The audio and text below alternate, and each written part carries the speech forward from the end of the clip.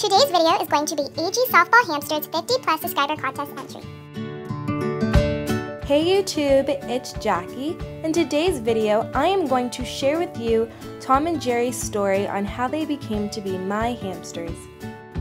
So it all started a couple months after my hamster Jojo passed away, and I told my mom I was ready for a new hamster. So she took me to the pet store, and I didn't want to get a Syrian because they have to live independent. I wanted to get dwarf hamsters because they get to have a companion. And so I decided to pick up the Campbell Russian dwarf hamsters. And when I brought them home that night, I had a really bad allergic reaction. Like, I started sneezing and coughing, and I couldn't breathe that well, and I was like, oh my goodness, it was horrible.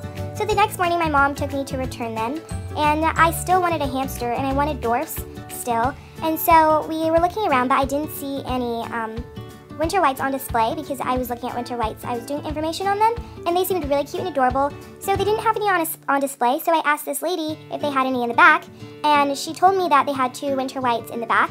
And it was surprisingly because she didn't want me to see them at all. It was really weird because usually if there's a customer that wants to see your pets, you would let them and you would like be nice to them. But she was not nice to me at all. Like she did not want to sell these hamsters away. And I can see why because they're adorable. But anyway, so she took me to the back and I got to look at them. But it was really strange because like she didn't really let me hold them and she kept like talking about like how she's going to buy them soon. And I was like, okay, well this is strange. I like really like these hamsters. So I got to pet them and stuff and I fell in love with them at first sight. They were so calm and tame and just gorgeous.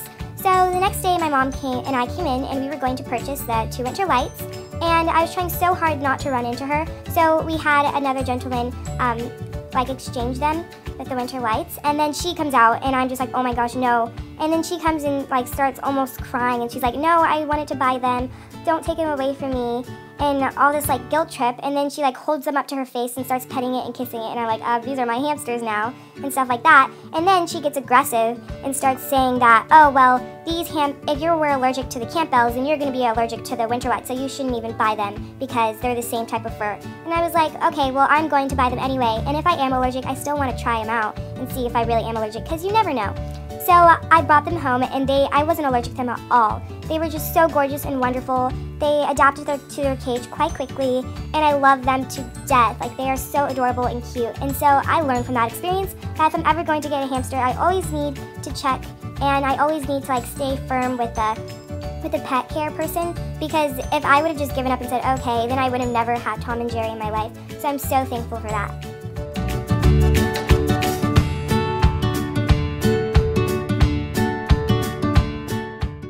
On to the questions. What type of hamster do I have? I have two winter white dwarf hamsters. Their coloring is normal. Um, their names are Tom and Jerry. They are almost six months old. I think, well, I've almost had them for six months. And why do I want to win? I want to win this so badly. I haven't won a package from anybody yet, and I'm hoping that I can win soon because Tom and Jerry, I know they would just love, love to have new toys and cages. Also, um, later I was thinking I wanted to get a Syrian again because Syrians are a lot like easier to like hold and handle because dwarfs are smaller. And I just really wanted another one, and so I'm going to need toys and stuff for them.